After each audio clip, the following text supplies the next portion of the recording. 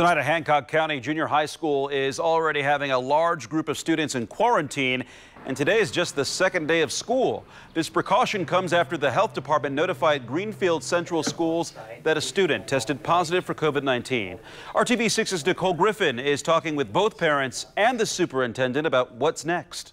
Just hours after students returned home from class on the very first day of school here at Greenfield Central Junior High School, parents received this email notifying them that a student has tested positive for the coronavirus. The district now says they have enacted their positive COVID-19 test protocol. Why would you send your child to school knowing that you're waiting for this result?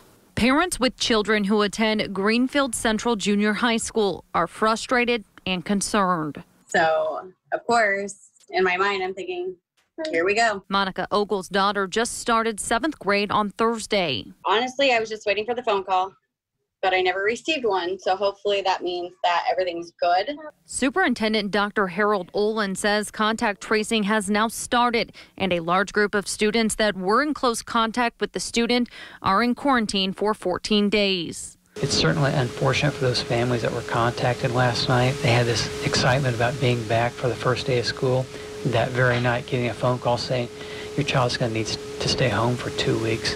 Disappointing, yes. The word that you asked me about, yeah, I'm disappointed. Dr. Olin says the focus now is on educating parents of expectations. If a pending test is out there, uh, we think that parents would not send their students to us until that was clear. The guidelines state if your kid is running a fever or have symptoms, you keep your kid home. So that's common sense. Parents are being asked to self monitor their children. If they have any symptoms or a fever above 99.5, keep them at home.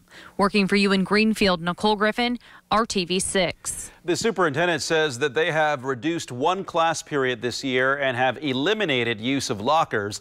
But keeping students in small groups at the junior high level isn't possible due to students moving from class to class. And that's why they have had to speak with several teachers in multiple classes and have asked those students to quarantine.